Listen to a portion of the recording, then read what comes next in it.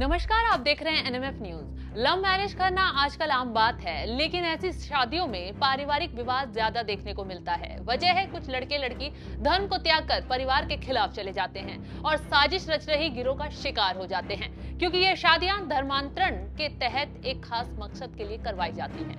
बहुत से केस लड़कियों को बहला फुसलाकर सामने आते हैं तो कई जगहों पर दबाव बनाकर शादी करवा दी जाती है। इस बीच इलाहाबाद हाईकोर्ट में एक ऐसा किस्सा देखने को मिला, जिससे न सिर्फ़ जज साहब के भी होश उड़ गए, बल्कि सीएम योगी आदित्यनाथ भी हैरान हो गए। तो आगे कहानी के ट्विस्ट पर आए। पहले कोर्ट में क्या कुछ देखने को मिला, चलिए बताते हैं। लव मैरिज कर आठ हिंदू मुस्लिम जोड़े इलाहाबाद हाईकोर्ट में सुरक्षा लेने पहुँचे। सभी ने अलग अलग समय पर कोर्ट में सुरक्षा के लिए याचिका लगाई। लेकिन इलाहाबाद हाईकोर्ट ने सभी की याचिका खारिज कर दी। इलाहाबाद हाईकोर्ट के इस फैसले से न सिर्फ़ आठों लोगों को झटका लगा, बल्कि योगी सरकार के लिए भी एक खबर अहम है। खैर, क्यों इन आठ जोड़ों की याचिका खारिज की गई है, बताते हैं। दरअसल, आठ हिंदू मुस्लिम जोड़ों की याचिका इसलिए खारिज की गई क्योंकि उनकी शादी उत्तर प्रदेश गैर कानूनी धर्म परिवर्तन प्रतिषेध अधिनियम के प्रावधानों के अनुपालन में नहीं थी। हाईकोर्ट के जज ने अपने आदेश में कहा, ये अंतर धार्मिक विवाद के मामले हैं, लेकिन ये विवाह कानून के अनुसार नहीं थे, क्योंकि धर्मांतरण विरोधी कानून का पालन नहीं किया गया था। इस तथ्य के तहत याचिकाकर्ताओं द्वारा मांगी गई राहत नहीं दी जा सकती। नतीजतन रिट याचिका खारिज की जाती है। हालाँकि याचिकाकर्ताओं के लिए ये रास्ता खुला है कि ये कानून की उचित प्रक्रिया का पालन करने के बाद शादी करने की स्थिति में नई रिट याचिका दायर करें।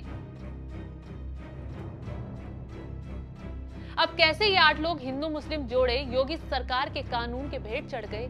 या फिर कहा जाए कि ये शादी अपराध को बढ़ावा देने के मकसद से की गई है? तो इसमें अगर फ़िल्म द केरला स्टोरी का उदाहरण दिया जाए तो गलत नहीं होगा। खैर, वो दूसरे केसों की कहानी है। चलिए पहले धर्मांतरण विरोधी कानून के बारे में बताते हैं। क्या है धर्मांतरण विरोधी कानून? कानून का मकसद धर्मांतरण को रोकना, प्रतिबंधित करना है। कानून के तहत दोषी को 10 साल जेल 15 से पचास हज़ार रुपए तक का जुर्माने का प्रावधान है। एस सी समुदाय के नाबालिगों और महिलाओं के धर्मांतरण पर तीन से दस साल की सजा का प्रावधान है।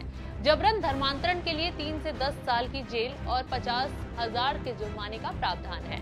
अगर कोई अपने धर्म के बाहर किसी से शादी करना चाहता है तो जोड़े को शादी से दो महीने पहले जिला मजिस्ट्रेट को प्रस्ताव देना अनिवार्य है।